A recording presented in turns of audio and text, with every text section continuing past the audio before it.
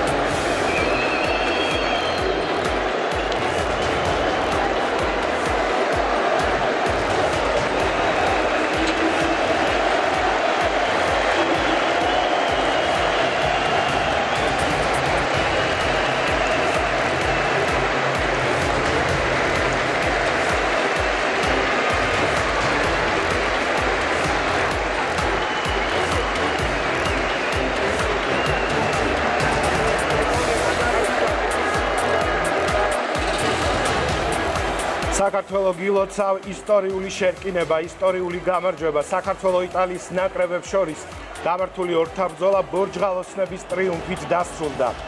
არ მყოფნის სიტყვები, რომლითაც გამარჯვების ეს მასშტაბი შემიძლია გადმოგცეთ.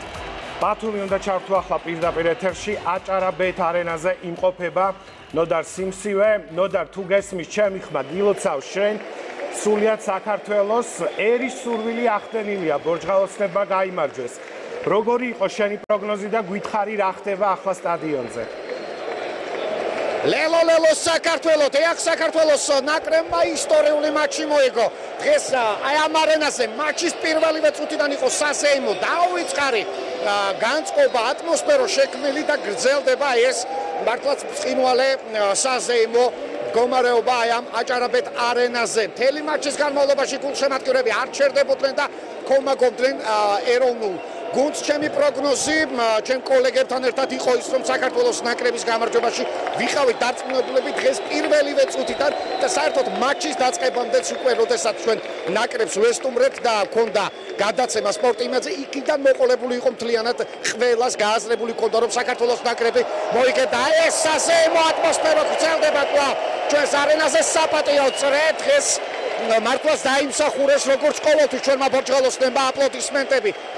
წინვალე ჩაატარეს შეხვედრა სამი ლელო მეტოქის ჩათulis მოეტანზე პირველი ალექსანდრე თოდუამ გახსნა ანგარიში და თედო აბჟანდაძემ შემდეგ ორი ლელოთი უპასუხა. ყველაზე პროდუქტიული შეგვიძლია ვთქვათ მართლაც იყო თედო აბჟანდაძე თანაგუნდელებთან ერთად რომელმაც ყველაფერი გააკეთა იმისათვის რომ დღეს ბორჯგალოსნებს მოეგოთ აი ეს მატჩი. კიდევ ერთხელ ვიმეორებ ხედავთ აი ამ საზეიმო განწყობა საპატიო წრეს და მართლაც მნიშვნელოვანი იყო ეს გამარჯვება იმიტომ რომ პირველი ზაფხულის ტესტ მატჩის წარუმატებელი დაწყების შემდეგ როდესაც ჩვენ არგენტინასთან დავმარცხნით ძალიან მნიშვნელოვანი იყო ჩვენს აი ასეთ მეტოქესთან როგორც არის იტალია მასთან გამარჯვება იტალია რომელთვისაც ჩვენ აქამდე არ ქონდა თამაში მოგებული. 4 მარცხი აი ახლა უკვე მეხუთე შევხვდით და მოუკეთ. თანდაც ეს იყო კიდევ უფრო ისტორიული მკუთხით რომ საქართველოსი პირველად უმასპინძლეთ იტალიის ნაკრებს და აჭარის რეგიონმა პირველად მიიღო საერთოდ ბორჯღალოსანთა თამაში პირველად უმასპინძლა.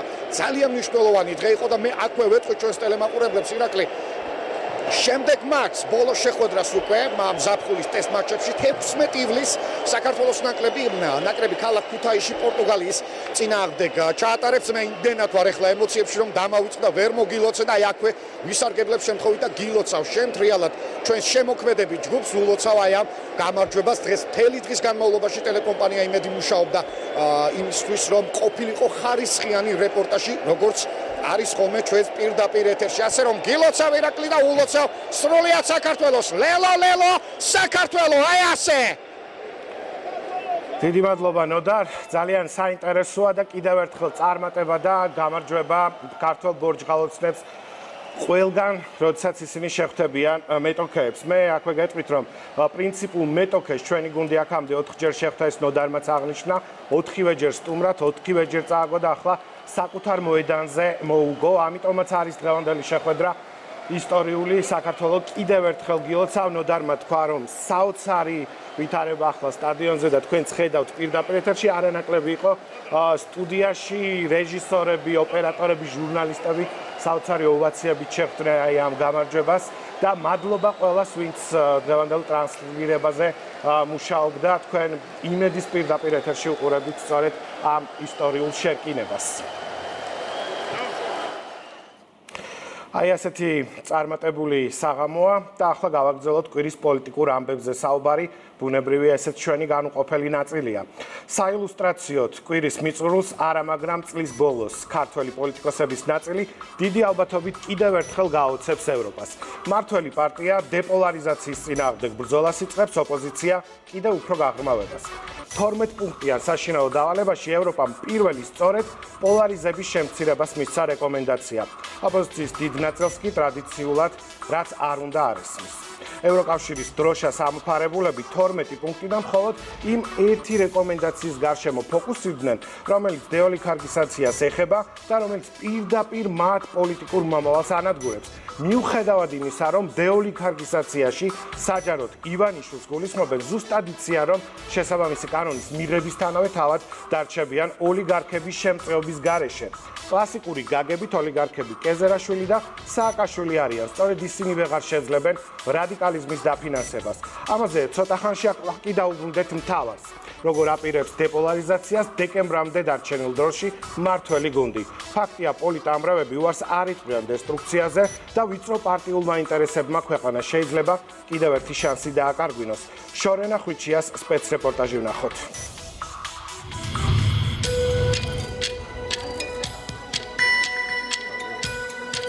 დეპუტატები ქართული ოცნებიდან და ოპოზიციური პარტიებიდან პარლამენტის თავმჯდომარის კაბინეტში იკრიბებიან იმისთვის, რომ ისაუბრონ, როგორ და რა ვადებში უნდა შესრულდეს ევროპული რეკომენდაციები. ყველა პუნქტთან დაკავშირებით გვაქვს კონკრეტული თარიღი, როდის მოხდება ინიცირება შესაბამისი კანონპროექტის, როდის მოხდება მისი მიღება. ამიტომ გრაფიკი არის საკმაოდ კაცრად გაწერილი და მათ შორის ფორმატებიც არის განსაზღვრული. ფორმატები გულისხმობს ყველა ამ საკითხთან დაკავშირებით შინაარსობრივ დისკუსიას ოპოზიციის და სამოქალაქო სექტორის ჩართულობით და ცდილობას, რომ გამოიძებნოს საერთო გადაწყვეტილებები. თუმცა პირველივე პრობლემა სწორედ აქ ჩნდება, როცა ოპოზიციის ნაწილი ევროპული რეკომენდაციების შესახებ საუბარზე ქართულოცნებას უარსეუბნება. მიუხედავად იმისა, რომ სწორედ ამ პროცესის წარმატებით დასრულებაზეა მეტწილად დამოკიდებული, მიიღებს თუ არა ქვეყანა ევროკავშირის წევრობის კანდიდატის სტატუსს. ოპოზიციის ქმედებას აქვს ლოგიკური ახსნა. ისინი პირდაპირ არიან დაინტერესებული, რომ საქართველოს არ მიიღოს კანდიდატის სტატუსი. ერთი მარტივი მიზეზით, მათ იციან, რომ კანდიდატის სტატუსის მიღების პირობებში ხელისუფლება დაიწერს პონებრივია სერიოზულ ქულებს, რაც მათთვის ძალიან დამაზიანებელი იქნება, მათ შორის 2024 წლის საპარლამენტო არჩევნებისთვის. შესაბამისად, მათ აქვთ ეს სუბიექტური ინტერესი, რომ ქვეყანამ არ მიიღოს კანდიდატის სტატუსი და ისევე როგორც სხვა შემთხვევებში, ვერაფრით ვერ ფარავს ამ სუბიექტურ ინტერესს ობიექტური ქვეყნის ინტერესი. ბოიკოტის რეჟიმში არიან ლელო სტრატეგია აღმაშენებელი და ნაციონალური მოძრაობა. სერიოზულად. რატო არ შევედით თუნდაც თუნდაც გეტყვით? სწორედ წინასწარ გაცხადებული ამ გადაწყვეტილების გამო იყო მოულოდნელი ლევან ბეჟაშვილის დანახვა აქ. როგორ შედის შალვა პაპუაშვილის კაბინეტში ზუსტად მაშინ, როდესაც შეხვედრა იწყება? სანამ შეხვედრა დაიწყებოდა, ლევან ბეჟაშვილი შემოვიდა პაპაშვილის ოთახში რაღაცაზე დაელაპარაკეს. ისე რომ ჩვენ არ გვესმოდა არ ვესწრებოდით ერთი 10-15 წუთი და მე დატოვა ოთახი. შიგნით შეხვდით თუ არა მშალვა პაპაშვილი ა ერთი ნაციონალური მოძრაობა ისევე როგორც სხვა ოპოზიციური ფრაქციები არღებულობენ მონაწილეობას შალო პაპუაშვილის მიერ მოწვეულ ფორმატში. დღეს თქვენ შეხვდით თუ არა შალო პაპუაშვილს რომ დაგვიწყო? ჩამოვართ კი. ლევან ბეჟაშვილი ჯერ პასუხს გაურბის, თუმცა ბოლოს აღიარებს, რომ შალო პაპუაშვილს მის კაბინეტში ნამდვილად შეხვდა. ლევან ბეჟაშვილთან სადამ შეხვდებოდით ოპოზიციის წარმომადგენლებს, მანამდე რამდენიმე წუთი ვისაუბრეთ, შეეხებოდა საპარლამენტო საქმიანობის საკითხებს, რა თქმა უნდა, მე ვკითხე მას ფორმატში აპირებენ თუ არა მონაწილეობას მიღებას, მაგრამ ხედავთ, რომ ისინი არ არიან ჩართულები ამ ფორმატში. რაც სამწუხაროა რა თქმა უნდა ვინაიდან ამითი კიდევ ერთხელ ჩანს რომ რეალური ინტერესი კონსტრუქციული დისკუსიის მიმართ არ არსებობს ბოიკოტის რეჟიმში მყოფები ქართულ ოცნებასთან ერთად მუშაობას გადაჭრით გამორიცხავენ. სხვა კოლეგებისგან განსხვავებით თვისთვისაც გაუგებარია, რატომ შეიძლება საპარლამენტო პარტიამ პარლამენტში საუბარზე უარი თქვას, ვით უმეტეს როცა საქმე ევრორეკომენდაციების შესრულებას ეხება. იბუტებიან ბაღში ბავშვები და სკოლის მოსწავლეებიც უკვე აღარ იბუტებიან ხოლმე და საერთო ენას ნახულობენ და ხა ჩვენს დასული ადამიანები პოლიტიკას კეთებაზე როგორ პრეტენზია გაბუტვა მე მგონი საერთოდ არარაციონალურია ამ სიტუაციაში. ძალიან ელემენტარული რაღაცების დაზე მიწევს ხანდახან საუბარი, მაგრამ როგორ შეიძლება პარლამენტის წევრი იყო და ამბობდა რომ მე არავის არ დაველაპარაკებ. და მაშინ რისთვის ახლა პარლამენტში? ან პარლამენტი არის ადგილი, სადაც მარტო ლაპარაკობენ. ალტერნატივა საუბარს არ აქვს, იმიტომ რომ თუ არ ლაპარაკობთ, უნდა ვიჩხუბოთ. და ჩვენ მივიჩნევთ რომ საბოლოო ჯამში, ну, ყოველ შემთხვევაში თუ გამოსავალი, თუ შანსი გვაქვს რომ ეს პირობები შევასრულოთ და ევროპაში აღმოჩნდეთ, მაშინ უნდა ვილაპარაკოთ და შანსი გამოვიყენოთ. პირველი ვინც ბოიკოტი ღიად გამოაცხადა გიორგი ვაშაძის პარტია იყო. თუმცა ამ პოზიციას არ უერთდება რესპუბლიკური პარტიის ლიდერი ხათუნა სამნიძე, რომელიც ამავდროულად ვაშაძის საპარლამენტო ფრაქციის თავმჯდომარეა. პოლიტიკა არის საუბარი, დიალოგი, კამათი, დისკუსია, შეთანხმება ან შეუთანხმებლობა, მაგრამ რომ ავუხსნათ საზოგადოებას, რატო ვერ შევთანხმდით, ამის უნდა ვისაუბროთ. და ამ საუბარს წინ არაფერი არ უდგას. რა ალტერნატივა არსებობს საუბრის ნაცვლად? ბოიკოტის რეჟიმში მყოფი პარტიების დღის წესრიგი ძალიან ბუნდოვნად გამოიყურება. ნათელი მხოლოდ საბოლოო მიზანია. წლის ბოლომდე შეცვალონ ხელისუფლება. თუ დღეს არ მოისმენენ, შვიდობიანად და წყნარად ჩვენ შეთავაზებას, რომ ხალხის ნებას უნდა დაყვნენ და მიტაცებული ძალაუფლება ხალხს უნდა დაუბრუნონ და საქართველოს ევროინტეგრაციის გზა უნდა გააგრძელოს, მაშინ მათ უფრო მძიმე ბედიელით აი ამ სიტყვებს ჩაიწერეთ და როცა მოხდება, რაც მოხდება, თავის თავს დააბრალო. ეს გულისხმობთ, აი რომ მითხრათ, გეგმა ხო გაქვთ? გეგმა, გეგმა, გეგმა არის. სად არის გეგმა? გეგმა არ ჩანს, თუმცა არც ოცნების მიერ დაწყებულ პროცესს მიყვებიან. გვინდა რეალური მოლაპარაკებები? ერთ-ერთი ვისაც უნდა ველაპარაკოთ, ვინ არის? ივანიშვილი. დაგვიჯდეს მაგიდაზე, მე მივუტან მას დეოლიგარქიზაციის გეგმას. ივანიშვილი არ შეგხვდებათ. არა, არ შეგხვდებათ. რა არის თქვენი გეგმა? დახვალეო, აღდგომა დახვალეო. ნახოთ. რა არის თქვენი გეგმა? ჩემი გეგმა რაც არის მე გითხარით. ივანიშვილი თუ არ შეგხვდება, თქვენი გეგმა განუხორციელებელი. ჩვენი გეგმა არის უფროსორას სტრატეგია, რომელსაც აქვს ბევრი კომპონენტი გეგმის.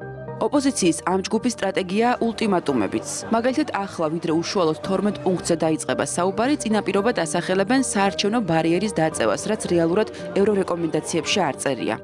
შეიძლება ოპტიმისტურად ვჟღერდე, მაგრამ მე არ ვარ განწყობილი ოპტიმისტურად. უბრალოდ ვცადო უნდა კიდევ ერთხელ. ამ ვითარებაში, ამ პოლარიზებულ ვითარებაში ქართული ოცნება უნდა ცდილობდეს 100ჯერ და 1000ჯერ უფრო მეტად, რომ ესაუბროს თითოეულ დეპუტატს. ჩვენ უნდა შევთანხმდეთ იმაზე, რომ დეპოლარიზაციის მთავარი გადაწყვეტის გადაწყვეტილება იქნება 2%-იანი ბარიერის დაწესება, რომელიც პირველი მოსმენით ისედაც მიღებული არის. ამ მოთხოვნით რადიკალურ ოპოზიციას ევრორეკომენდაციებში შესწორებაც შეაქვს და 12 პუნქტს მე-13-ესაც უმატებს.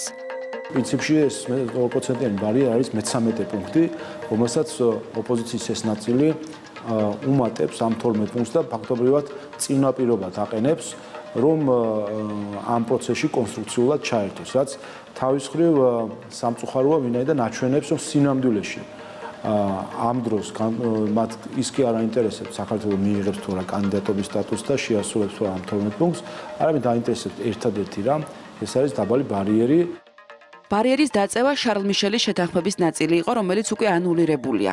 ამ შეთანხმებიდან რამდენიმე პუნქტი ახალ ევრორეკომენდაციებში ისევ გადმოტანილია, მათ შორის არ არის ბარიერის საკითხი. თუმცა ქართული ოცნება მზად არის ეს მაინც გააკეთოს. მას შემდეგ რაც საქართველოს კანდიდატის სტატუსს მიიღებს. ეს არის ჩვენი კეთილი ნება კლავაც. რომელიც არის ერთგვარი მე-13 პუნქტი ასეთ შეგვიძლია განვიხილოთ. მაგრამ კიდევ ერთხელ ვიტყვი, რომ ეს არ არის ერთგვარი დათმობა ოპოზიციისთვის, აქ უბრალოდ ჩავდეთ კონკრეტული ლოგიკა. თუ შემცირდება პოლარიზაცია კანდიდატის სტატუსის მიღების შემდეგ, ეს ნიშნავს, რომ უფრო დაბალი ბარიერითაც იქნება შესაძლებელი რაციონალური სპექტრის მიღება პარლამენტში 2%-იანი ბარიერის საფუძველზე. მართველი გუნდის ლიდერმა ეს გადაწყვეტილება მიმდინარე კვირას გამოაცხადა და ახსნა ლოგიკაც. თუ ჩვენ მივიღებთ კანდიდატის სტატუსს, ამ შემთხვევაში დასრულდება ოპოზიციის ყოველგვარი მცდელობა, გააღვიონ კიდევ უფრო მეტად პოლარიზაცია და შესაბამისად ასეთ დროს უფრო დაბალი ბარიერით არჩევნების ჩატარება ხდება აბსოლუტურად ლოგიკური. ეს არის ის ლოგიკა, რომელიც ჩაიდო ჩვენს გადაწყვეტილებაში და სწორედ ამის საფუძველზე გაკეთდა შეთავაზება. ოპოზიციის რადიკალური ნაწილისთვის ესეც მიუღებელია და ქართული ოცნებისგან ულტიმატუმის სახით ითხოვენ იმას, რაც ევროპას მოთხოვნებში არ ჩაუწერია და რის შესრულებასაც მართველი გუნდი კანდიდატის სტატუსის მიღების შემდეგ ისედაც აპირებს. ჩიხი, რომელშიც ოპოზიციას პოლიტიკური პროცესი შეყავს, ისევ რადიკალიზაციისკენ არის მიმართული და კიდევ უფრო მეტად აღრმავებს პოლარიზაციას, რაც ევროკომისიის შეფასებითაც საქართველოს ნომერ პირველი პრობლემაა. რა მოუტანა ოპოზიციის დესტრუქციულ ნაწილს პოლარიზაციის გაღრმავება, მხოლოდ ელექტორატის დაკარგვა, უნდობლობა, რეიტინგის მკვეთრი ვარდნა და მარგინალიზაცია. აქვს თუ არა შანსი დაკარგული ნდობის, თუნდაც მცირე ნაწილის დაბრუნების ნაციონალურ მოძრაობას მის სატელიტებთან ერთად. პასუხად გასული კვირის აქციებს გამოდგება. საზოგადოება თავის მოტყუების და ადამიანების გულწრფელი პროტესტის თამაშით თამაშის უფლებას არავის აძლევს. ის რაც შესაძლოა ევროპული მომავლისთვის გააკეთოს მოქალაქემ, განურჩევლად მისი პოლიტიკური სიმპათიებისა, იმის 1%-ს არ გააკეთებს პოლიტიკოსისთვის. თან ხომ გააჩნია პოლიტიკური გუნდის იმიჯსაც. ყოველ ფეხის ნაბიჯზე ტყუილი და დიდი პოლიტიკური აფერა. ჯერ იყო პოლიტიკოსები ცდილობდნენ ხალხის ქუჩაში გამოყვანა, შემდეგ საკუთარი ტელევიზიებიდან ჟურნალისტები გამოიყვანეს სცენაზე და მალევე მიხვდნენ რომ კიდევ უფრო შეაქცია ხალხმა ზურგი. ბოლოს მესამე სექტორის ნაწილს დაეყრდნენ და რადიკალების წიაღშივე შექმნილი საზოგადოებრივი მოძრაობის საფარქვეშ გადაწყვეტეს ხალხის ქუჩაში გამოყვანა. შედეგმაც არ დააყოვნა. რადიკალებმა სრული ფიასკო განიცადეს. ანუკი გუმბერიძის სპეცრეპორტაჟი ვნახოთ.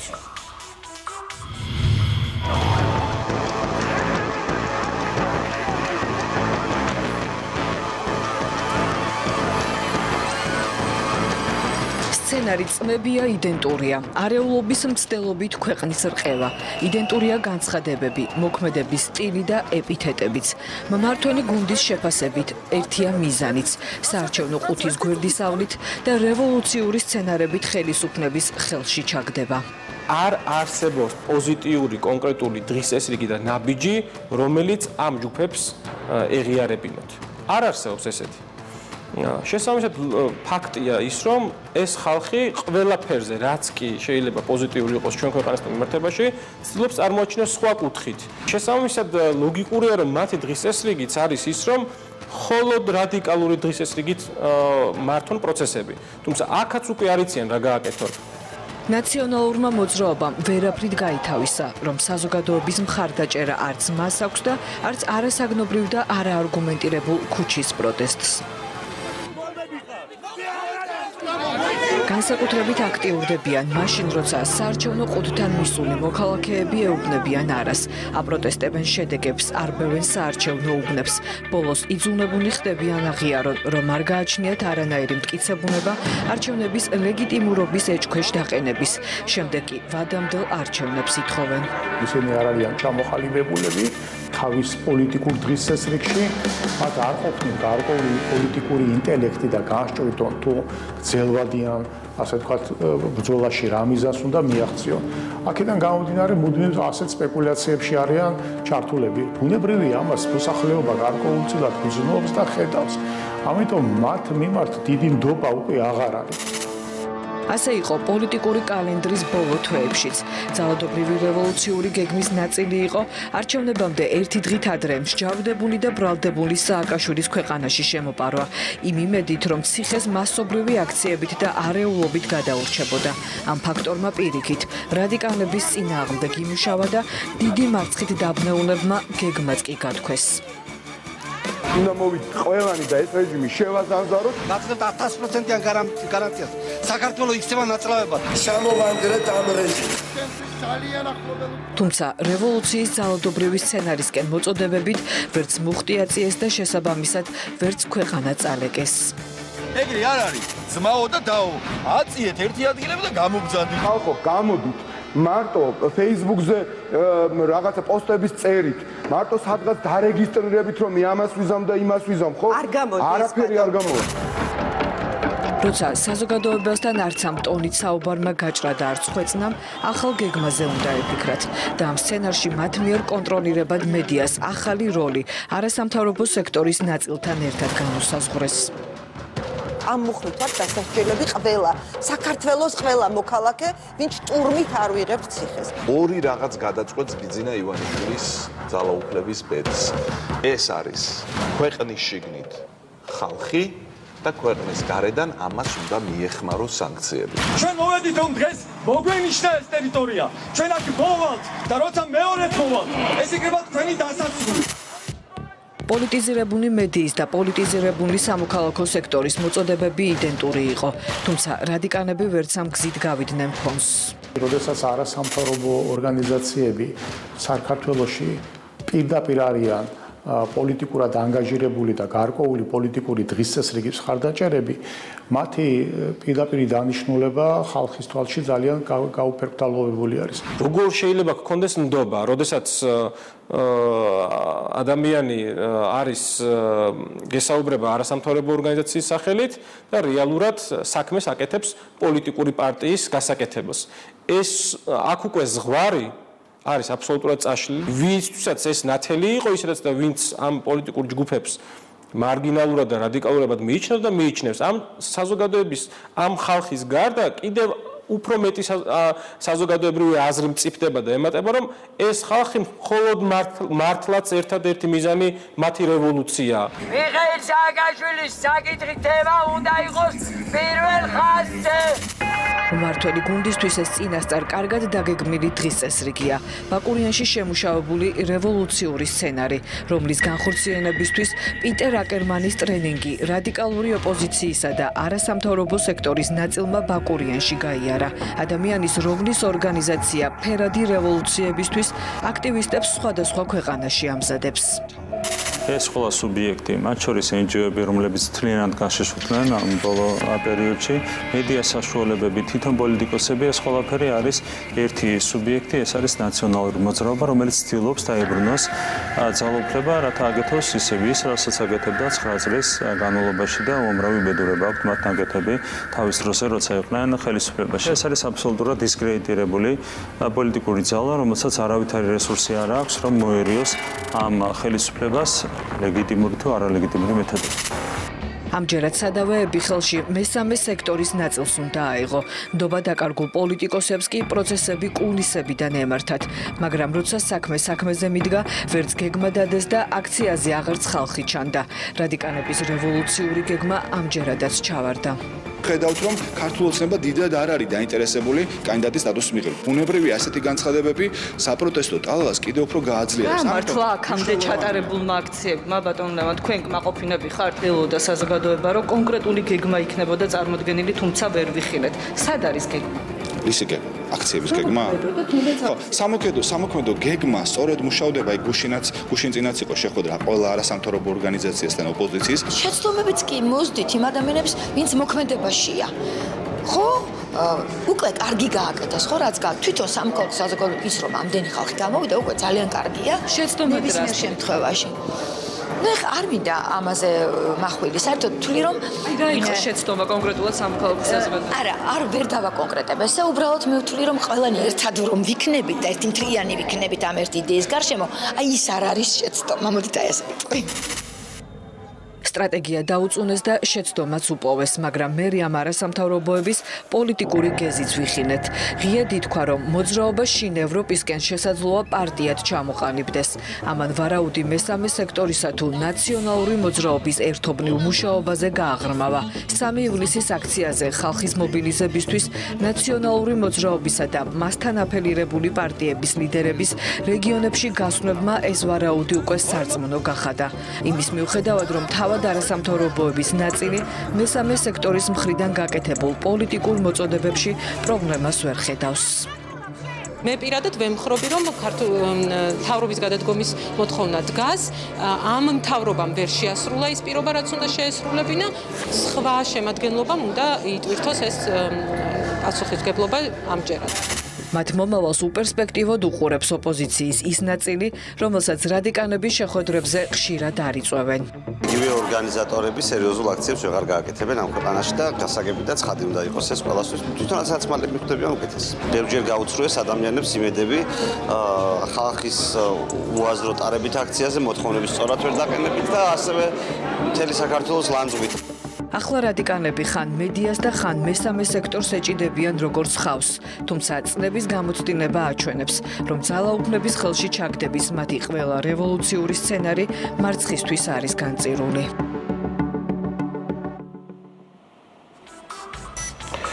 2008 წლის აგვისტოს ომის შემდეგ საერთაშორისო პარტნიორების მიერ გადმორიცხული თანხები, რომლებიც ომისგან დაზარალებულ ქვეყანას, დევნილების საცხოვრებელ სახლებს და დაზიანებულ ინფრასტრუქტურას უნდა მოხმარებოდა გაქრა.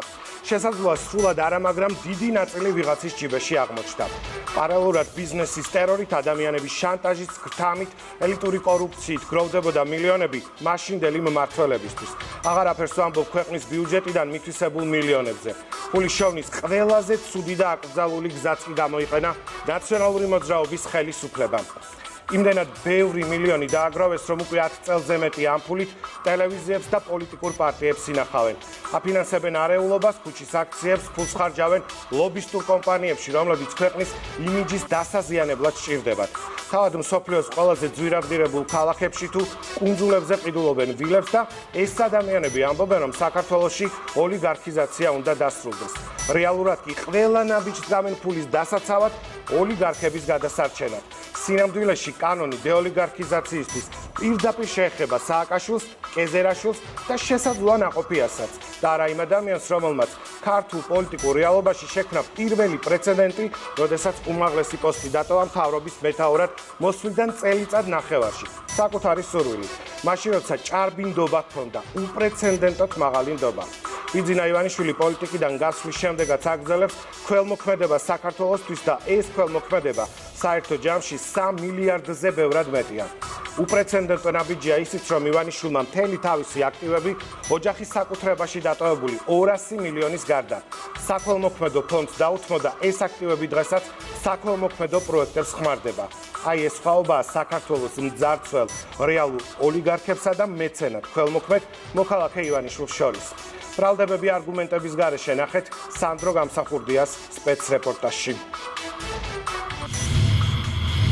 მე რომ ვიყო საქართველოს ივანიშვილი დასრულდება სულ რამდენიმე დღეში ოლიგარქი ივანიშვილი როგორ ცდილობს ოლიგარქი დავით არახამია ევროკავშირის ივანიშვილისთვის პერსონალური სანქციების დაწესების მოთხოვნით სააკაშვილისა და ნაციონალური მოძრაობის სამიზნე ბიძინა ივანიშვილი და მისი ოჯახი პოლიტიკაში მოსვლის შესახებ პირველი განცხადებისთანავე გახდა. ასე გაგრძელდა მაშინაც, როდესაც მის მიერ დაფუძნებულმა ქართულმა ოცნებამ 2012 წლის 1 ოქტომბერს სააკაშვილის რეჟიმი არჩევნებით სახლში გაუშვა. მას შემდეგ სააკაშვილის პარტია ყველა არჩევნებს ქართულ ოცნებასთან პირწმინდა დაგებს. მარტთან ერთად კი ბრაზის მატულობს და იზრდება აბსურდული ბრალდებების რიცხვიც. იმის მიუხედავად, რომ ბიძინა ივანიშვილი 2020 წლის საპარლამენტო არჩევნების შემდეგ პოლიტიკიდან წავიდა, საკუთარი აქტივების უდიდესი ნაწილი კი საქველმოქმედო ფონდ ქართულს გადასცა. ივანიშვილს უწოდეს ჩრდილოვანი ბოსი, მაგალითად, ბოლო 2 წელია ოპოზიცია ცდილობს იმის დამტკიცებას თითქოს ქართულ პოლიტიკას კულისებიდან ისევ ბიზინა ივანიშვილი მართავს, რომელიც მსოფლიოს ისტორიაში იმიშვიათ ადამიანთა რიცხვშია, ვინც ძალაუფლებაზე უარის საკუთარი ნებით თქვა. მსჯავრდებული ექს-პრეზიდენტის და მისი პარტიის ფინანსისტის თავდაცვის ყოფილი მინისტრის ძებნილ დავით კეზერაშვილის მედია საშუალებების დახმარებით, ნაციონალური მოძრაობა ქმნის სურათს, რომ ხელისუფლების ყველა გადაწყვეტილების უკან ივანიშვილი დგას.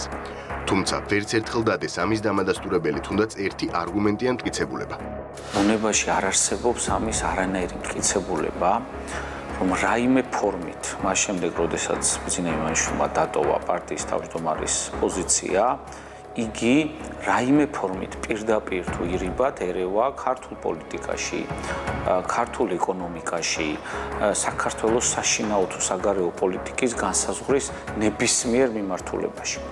მას არ გააჩნია არანაირი ბიზნეს საქმიანობა საქართველოსში და არც არასდროს არ ქონია გარდა ერთისა, რომ ის თავის შრომით საზღვარგარეთ დაგროვებულ კაპიტალის თითქმის 90%-ს ახმარს და მომავალშიც განზრახული აქვს, რომ მოახმაროს ქართულ ხალხს და საქართველოს.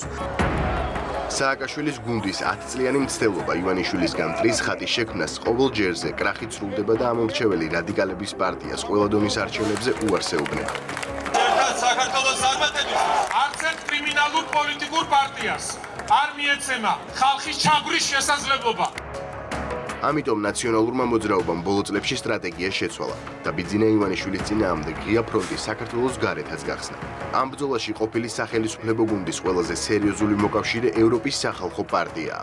ევროპის პოლიტიკურ პარტიათა უდიდესი გაერთიანება, რომელსაც ევროპარლამენტში ყველაზე დიდი და ძლიერი ფრაქცია აქვს. საქართველოს წინააღმდეგ ბრძოლაში ნაციონალური მოძრაობა პარტნიორ იპიპის ხშირად იყენებს.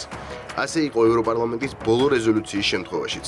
როდესაც ჩანაწერში გაჩნდა სიტყვა ოლიგარქი და გაჩნდა რეკომენდაცია ბიზნა ივანიშვილის სანქციების შესახებ, რომელსაც ასახვა არც ევროსაბჭოს და არც ევროკომისიის დოკუმენტში არ მოხოლია. ჩაულებრივი კონსპირაცია, რასაც დიდი ძალები მიმართავენ, მაგრამ ამ კონსპირაციულ აი ამ თამაშებში, პოლიტიკურ თამაშებში დასაკურელია ბიზნა ივანიშვილის ფაქტორი, სერიოზულად მუშაობდა და დღეს იგი როგორც მეცენატი, როგორც ქართველი საზოგადოებისათვის მისაღები პიროვნება დიდი ნაწილისათვის რომელმაც უნდა მიიღოს რომელთა მომავალმა თაობამ უნდა მიიღოს გარკვეული სარგებელი იმის იმ პროექტებიდან რასაც ბიზინა ივანიშვილი აკეთებს რასაკურველი უკვე მიუღებელია აი ამ აი ამ სისტემაში რასაც მე პირადად დავარქვევდი შეთქმულებას საქართველოს წინააღმდეგ რომლის დათრევაც არის დღეს გარკვეული პოლიტიკური ჯგუფების ამოცანა უკრაინაში პუტინის რუსეთის არმიის შეჭრის შემდეგ ნაციონალური მოძრაობა ტრადიციულად გაურკვეველი არგუმენტებით ღია დიდხოს ბიძინა ივანიშვილს დაუწესდეს სანქციები. ამ ბრძოლაში ჩართულები არიან როგორც ევროპული ლობი იპიპის სახით, ასევე სააკაშვილის უკრაინელი მეგობრები. დავით არახამიამ საკუთარ ქვეყანაში მიმდინარე ომის ფონზე ქართველებს რუსულად მიმართა და უთხრა, რომ ბიძინა ივანიშვილის მიმართ სანქციების პაკეტის ამოქმედება იგეგმება. Добрый вечер, Грузия. კარგი ამბავი მაქვს, მაკპოლმა განაცხადა, რომ მოახლოესი სანქციების პაკეტში განიხილება სანქციები საქართველოს ზოგიერთი მოქალაქის მიმართ. პირველ რიგში მინდა საქართველოს მოქალაქეები დავამშვიდო. ქართველი ხალხი არ დაზარალდება. საქმე ეხება ბიძინა ივანიშვილს და მის უახლოეს გარემოცვას. აბსურდული ბრალდებების კვალდაკვალ გააქტიურდა შვეიცარიული ბანკი კრედიტ სუისი, რომელიც ბიზინა ივანიშვილის მიმართ დაკისრებულ პასუხისგებლობებს თვეები არასრულებს. ახალ მოტივად ევროპარლამენტის რეკომენდაციები დაასახელა. დოკუმენტი, რომელსაც არანაირი სამართლებრივი და იურიდიული ძალა არ გააჩნია. ევროპარლამენტის რეზოლუციის ჩანაწერს ასახვა უკვე არც ევროსაბჭოს რომელიმე დოკუმენტში არ უპოვნია და არც შესაბამის ევროკომისიის. აქედან გამომდინარე, იცით, საუბარი რაღაცაზე, რაც ფაქტობრივად ჯერ არ ასახულა და არის მხოლოდ ფიქცია და ჰიპოთეზა, ჩემი მხრიდან, როგორც ადვოკატის მხრიდან, მიცე სამართლებრივი შეფასება ფაქტს, რომელიც არ მომხდარა და რომელსაც სამართლებრივი დატვირთვა და მნიშვნელობა არ აქვს, ელემენტარულად არასერიოზულია. საქართველოს ყოფილმა პრემიერ-მინისტრმა ბიზინა ივანიშვილმა შვეიცარიული ბანკის წინააღმდეგ დავა სხვა საქმეზე ჯერ კიდევ 2011 წელს დაიწყო. ივანიშვილი კრედიტსიუს უჩიოდა იმ ბრალდებით, რომ ბანკმა ვერ შეძლო აღეკვეთა მისი პირადი ბანკირის, პატრიკ ლესკოდრონის თაღლითობა, რის შედეგადაც ივანიშვილმა საკუთარი ქონებიდან 400 მილიონ დოლარამდე დაკარგა. ბერმუდას სასამართლოში მრავალწლიანი დავა ბანკმა წააგო. ამას გარდა ივანიშვილი ბანკს უჩივის ახალ ზელანდიასა და სინგაპურშიც. უპრეცედენტო და არაადეკვატური გადაწყვეტილებების შემდეგ ერთ დროს ავტორიტეტული შვეიცარიული ბანკის რეპუტაცია დღითი დღე ეცემა. საფინანსო ინსტიტუტის რეიტინგმა მაისში ორი წამყვანი სარეიტინგო სააგენტოს მონაცემებით ერთი საფეხურით დაიწია.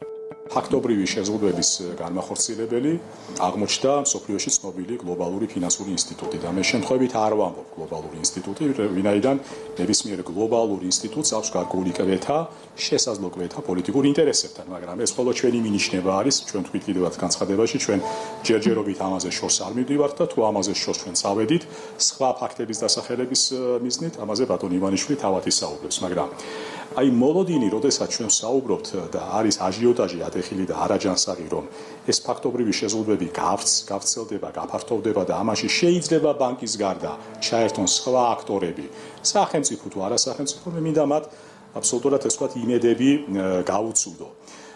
და ვიტყვი ერთ სამეს რა რომ იერიში და ძირითადი შეტევა იქნა მიტანილი სწორედ იმ იურისდიქციაზე, სადაც რეალურად ბატონ ივანიშვილს გააჩნია ფინანსური აქტივი. სხვაგან სადმე ბატონ ივანიშვილის ფინანსური აქტივი არ გააჩნია.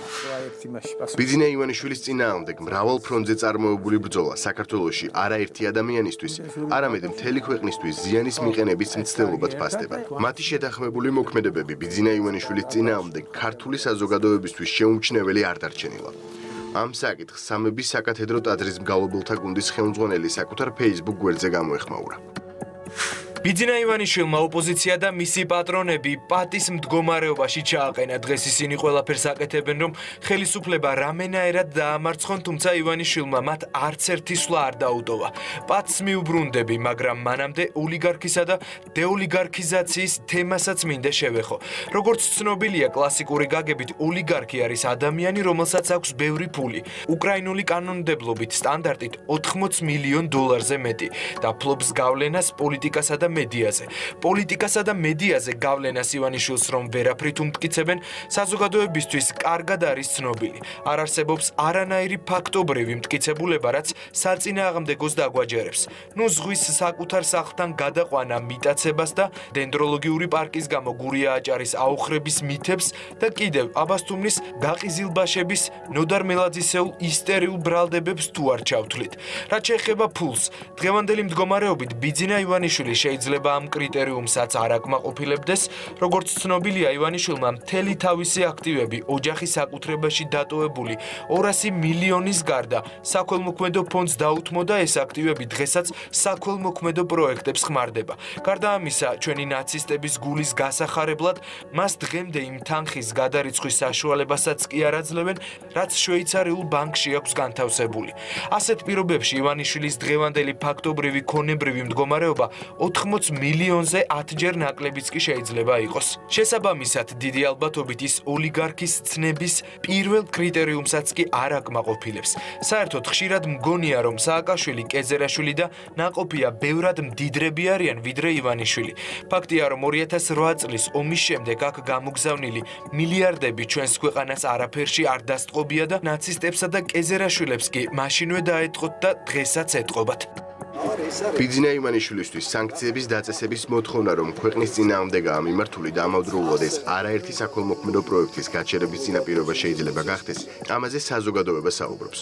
აშკარაა, რომ ეს არის პოლიტიკური ზეწოლის თელობა ბიძინა ივანიშვილზე.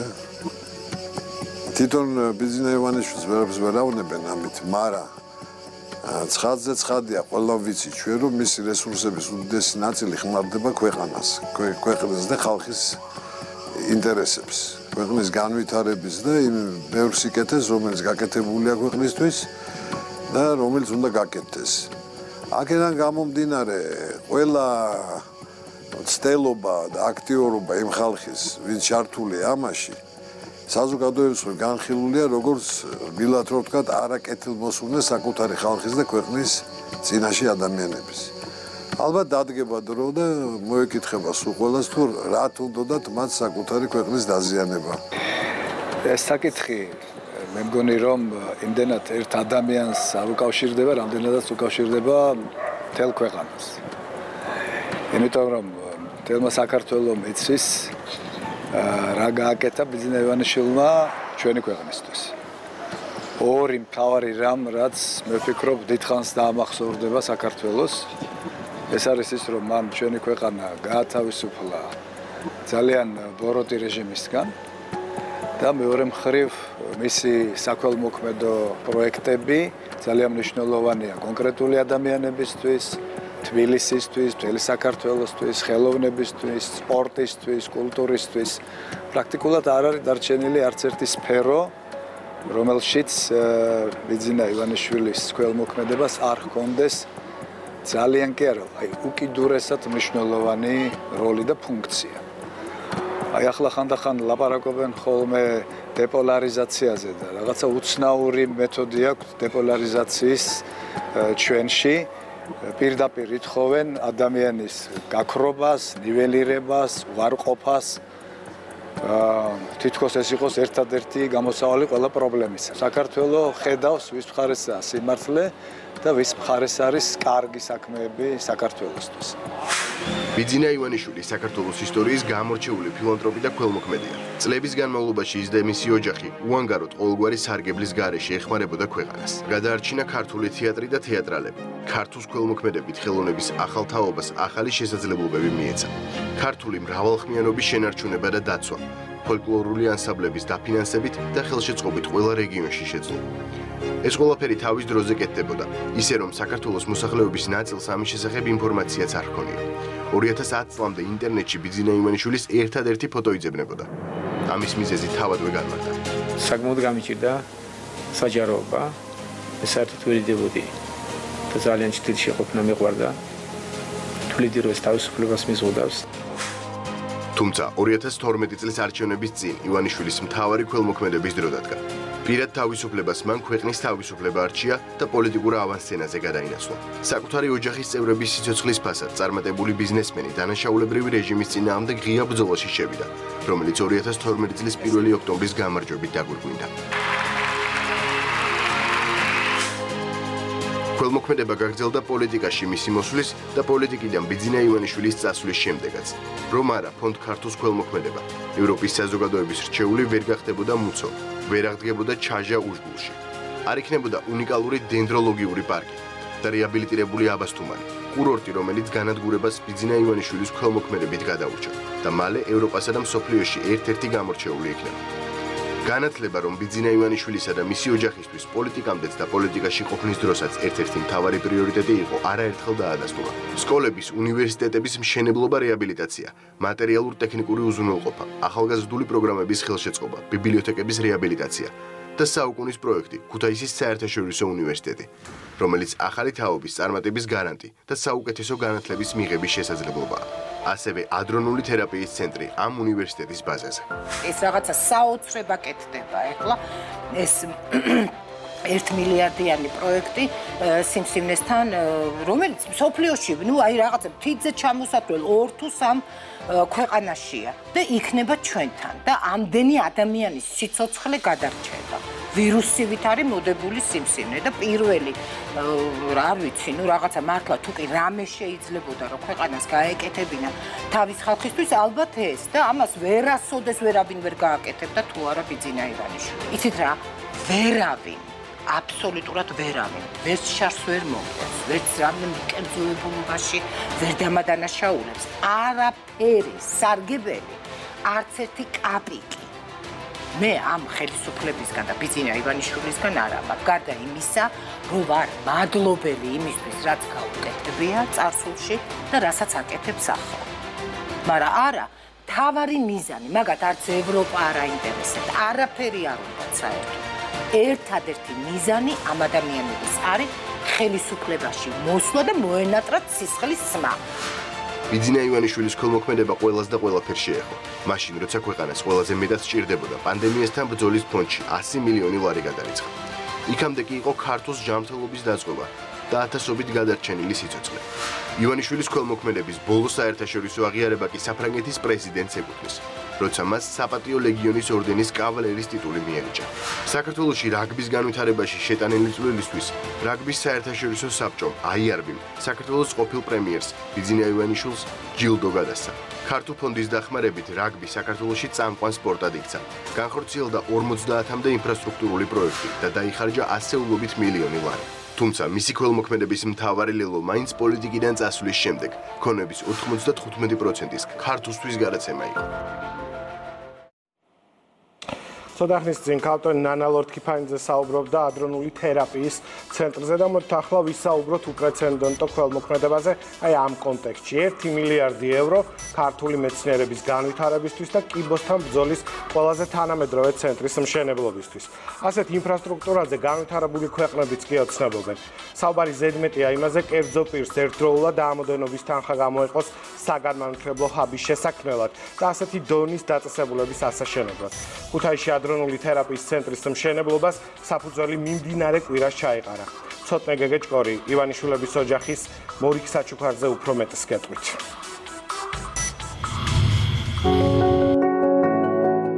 ადრონოთერაპია ეს არის მეტად უნიკალური დღეისათვის ყველაზე თანამედროვე სხიური თერაპიის მეთოდი, რომელიც არსებობს სოფლიოში. ეს არის უნიკალური პროექტი, არა მხოლოდ იმ თანხების მიმართებაში, რაც ეძდება, არამედ თავისი შინაარსი. და ქართული დროშა უკვე არის ჩვენს ორივე ციკლოტრონზე, რასაკვირველია ეს ძალიან სასიხარულო ამბავია, იმიტომ რომ ასეთი ამაჩქარებელი რეგიონში საერთოდ არ არსებობს. და შესაბამისად აქ ძალიან ბევრი ადამიანის სიცოცხლე გადარჩება ტექნოლოგიურ საუკუნეში. სამყაროში სადაც ულტრათანამედროვე მიღწევებში ტრილიონობით დოლარი იხარჯება დედამიწაზე უამრავი ადამიანი ეწირება დაავადებებს. რომელთა მკურნალობაც განვითარებული სამყაროსთვის უკვე დიდი ხანია აღარ წარმოადგენს პრობლემას. რადგან სამეცნიერო წრეები მაღალტექნოლოგიური მიღწევების წყალობით ისეთ ურთულეს კვლევებში არიან ჩართულნი რომლებიც წარმატებით ამარცხებენ უმძიმეს დაავადებებს ძიმე დიაგნოზებს რომელთა მკურნალობაც ბევრი პაციენტისთვის სამწუხაროდ დღემდე ძალზედ მტანჯველ, ხანგრძლივ და ნაკლებ შედეგიან პროცედურად რჩება. აღნიშნული ცენტრი საშუალებას მისცემს პაციენტებს პრაქტიკულად გაორმაგონ მათი განკურნების შანსი. რამე თუ ეს მეთოდი ანახევრებს კურნალობის დროს აორმაგეს პრაქტიკულად კურნალობის ეფექტურობას და ამავე დროს ის გვერდითი მოვლენების, ანუ თანხლები პათოლოგიების გვერდითი დაზიანებების მინიმალიზაციას იწვევს.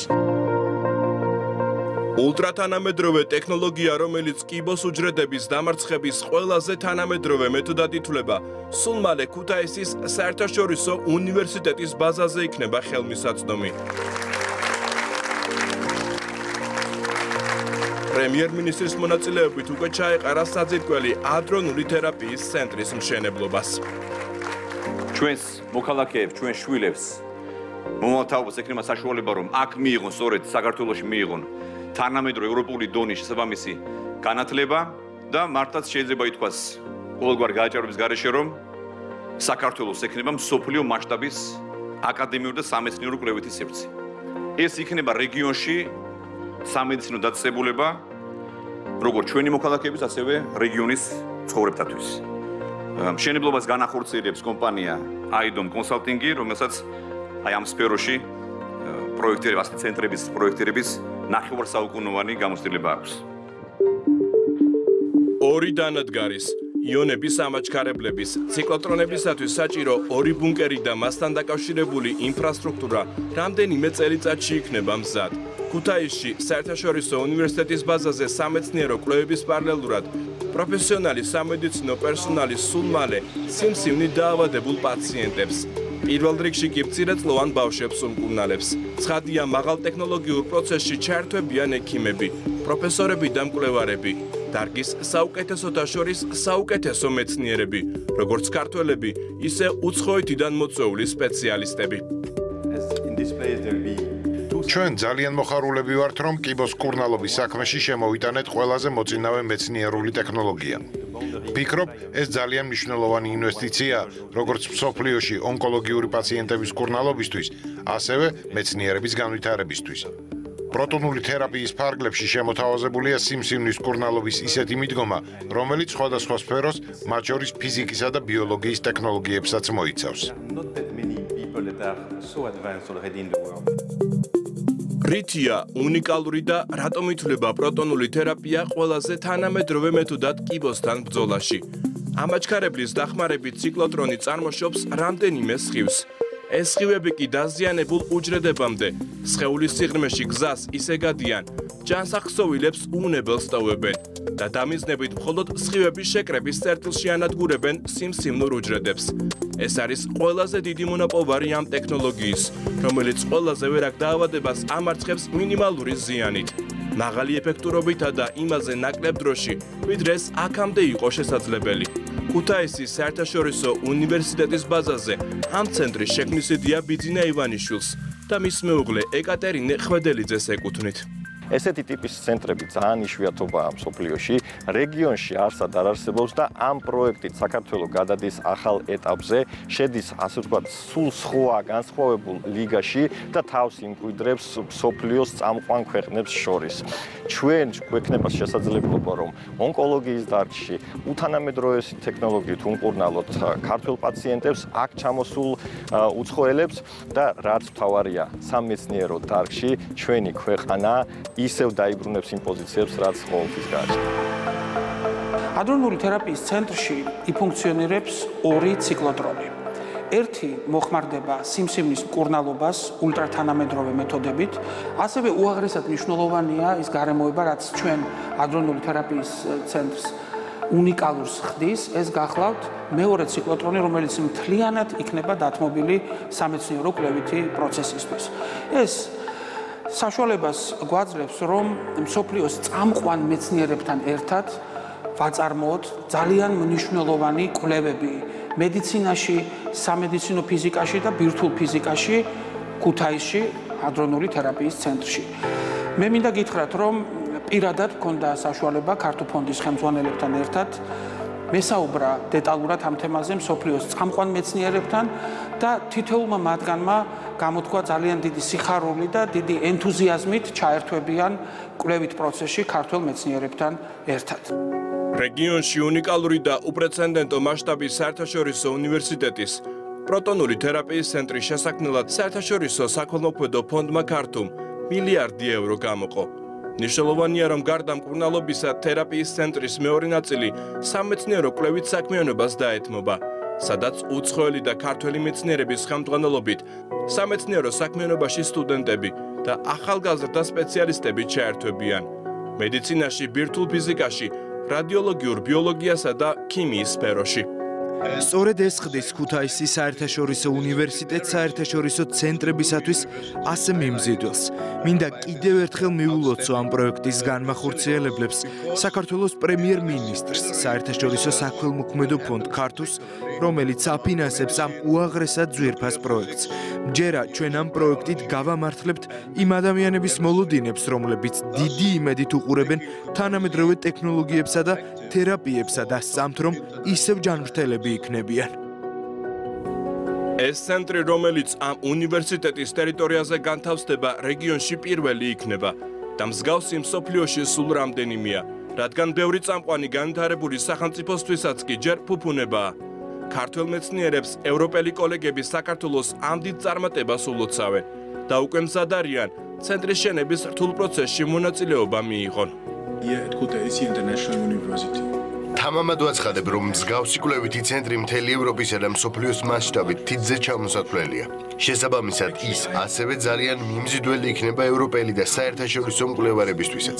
ჩვენ, როგორც დრეზდენ როსენდორფის, ჰელმჰოლცის ცენტრის თანამშრომლები და ქართულ-გერმანული სამეცნიერო სფეროს წარმომადგენლები, ვიქნებით ამ პროექტის ერთგული პარტნიორები.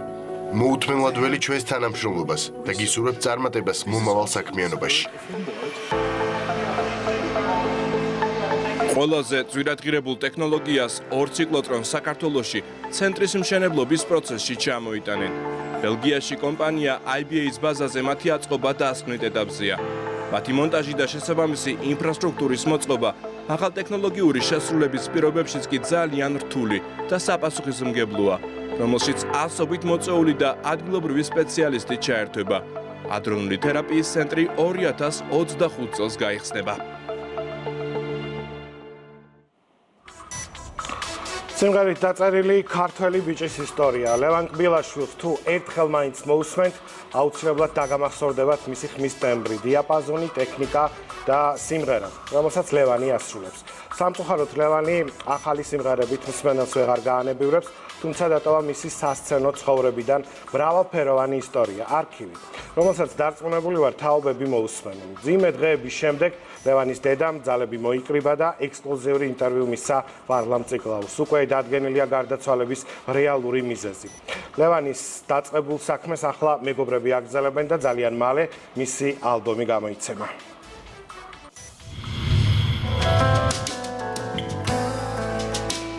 ისევ მიდიხარ ისევ შორდები ისევე შევეღამე აი რაღაცნაირი შვილი იყო განსაკუთრებული შვილი იყო ვერ გეტყვით როგორი შვილი იყო ლევანი აი ძალიან კეთილი, ძალიან აი როგორი შვილი იყო, იცით აი აი ჩაძინებული რო ვიყავი, მოვიდოდა ამ ხელი აი ხო ვიგრძნობდი მაკოცებ და უცებ.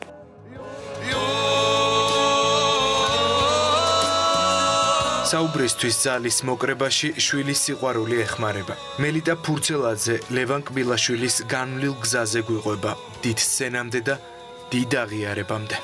რაღაცნაირი ბავშვი იყო, აი დაждდებოდა სკამზე და სკამი გატყდებოდა, თვითონ გადმოვარდებოდა, რაღაც ეთკინებოდა.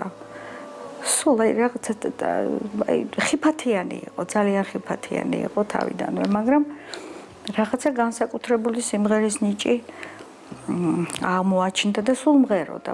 ეს სახლში რაღაც საკეთებდა, თამაშობდა, მღეროდა. მეზობლები ხანდახან რო არ მღეროდა, მეკითხებოდნენ ხო კარგად არის, რატო არ მღერის.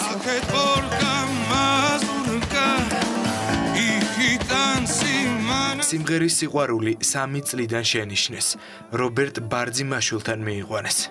მოთხარი ბატონო რობერტ, კარგად მღერის ჩემი შვილი, ვიცი რომ კარგად მღერის მეთქი, მაგრამ თქვენ რას მირჩევთ? ხალხურ სიმღერაზე მევაყვანო თუ საესტროდო განხრით გავაყოლოთ? და რომ მოусმინა მითხრა რომ ეს ამას ისეთი ხმა აქვს რომ ხალხურ სიმღერას ყოველთვის იმღერებსო და ჩემთან დატოვეო მითხრა და დაიტოვა თავისთან. სული ძახდა ბატონი რობერტი რომ ჩემ სულს ხედავ ამ ამ ამ ბავშვიო და აი მინდა რომ ჩემი სიმღერები იმღეროს. ერე როგორ დრო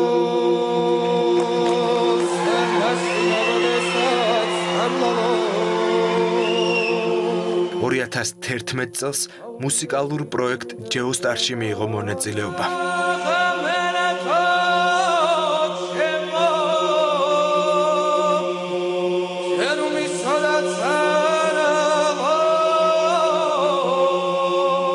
კი არ ამბობდა, რომ აი არანაირი ამბიცია არ ქონია, რომ აუცილებლად უნდა გამარჯვებული გამოსულიყო. მარტო იმას იძახდა, რომ ნეტა ხალხურ სიმღერამდე მიმაღწევინაო, რომ აი ხალხურ სიმღერა ძალიან უყვარდა ხალხურ სიმღერა და უნდა რომ ემღერა.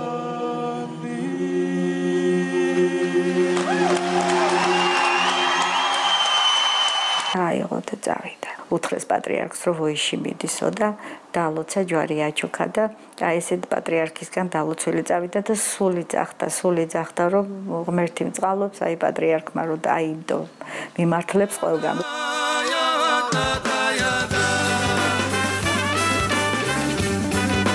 გამორჩეული ტემბრით, ინდივიდუალური შესრულებითა და განსაკუთრებული ვოკალური შესაძლებლობებით მალევე გაიცნო მსოფლიომ.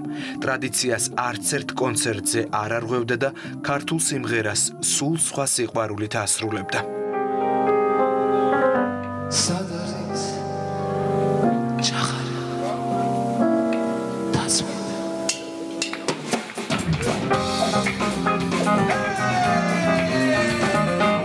საერთო მეგობარი აღმოაჩინდათ ლუვა უსპესკაიასთან ლევანის მეგობრებს. ჩვენ ერთი ძალიან კარგი ქართველი ყავს, რომელიც ძალიან მაგრად მღერისო და საჩუქარი გვინდაო რომ გაგიკეთოთ და მოვიყვანოთ ჩვენთან დაბადების დღეზე. და იმღერეს ამათ და დაამთავრეს სიმღერა და უცებ გამოვიდა დირექტორი, რომელმაც უთხრა რომ იცით რა იმდენად დიდი მოწონება დაიმსახურეთ, რომ კიდე უნდა მომბრუნდეთ და მიაბრუნეს. თელი საღამო აღარავინ აღარ მღეროდა, აღარავინ აღარ უკრავდა, ლევანი მღეროდა და მღეროდა ქართულ სიმღერებს.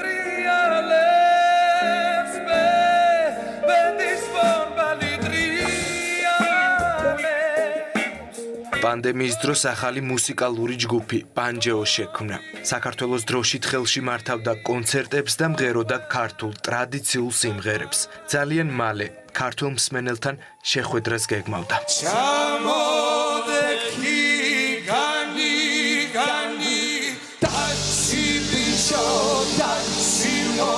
საერთოდ ჩასულა იქ იმის გულისთვის, რომ აი რუსული ესტრადის ვარსკვლავი გამხდარიყო და იქაური სიმღერები ემღარა. ეს თავი წავიდა იმ მიზნით, რომ უნდა გაიკეთებინა ქართული ქართულად უნდა ემღერა. ბრეგოვიჩი უნდა ჩამოსულიყო და ქონდა დაგეგმილი და სხვათა შორის ამბობდა, რომ საქართველოსში მინდა რომ ალბომი გავაკეთო, იცახდა რომ ბარემ აქვე გავაკეთებ, გამოუშვებ ალბომს, ფაქტიურად მზად არის ეს ალბომი. 21 ივნისის ღამე ლევან კბილაშვილისთვის საბედისწერო აღმოჩნდა.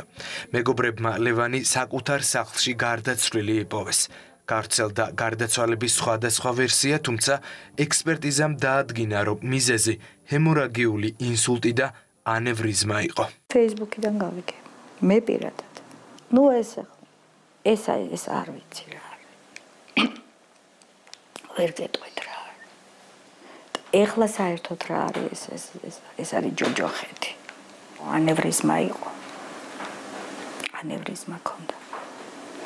ტრიალეს ტრიალეს ვედის მომალი ტრიალეს დედა შვილს უკანასკნელად უცივნის ესაუბრა. უჩვეულოდ დიდხანს იხსენებს, რომ ლევანს თითქოს წინათ გრძნობა ჰქონდა. ეს იქნება ხვალ როცა იქნება ომი ხო წავალ ამ ქვეყნიდან და დარჩება ჩემი სიმღერები. აი ეს მითხრა. ისაუბრეს საქართველოსი დაგეგმილ კონცერტზე, სიტბოზე, რომელსაც ლევანი ქართველი მსმენელისგან გრძნობდა და იმ სიყვარულზე, რომელიც დღემდე გრძელდება. როდის ნახავარ ვიცი. ვერ გეტყვით. მაგრამ სურვილი მაქვს რომ მალე ვნახო. მარტო რო არ იყოს იქ.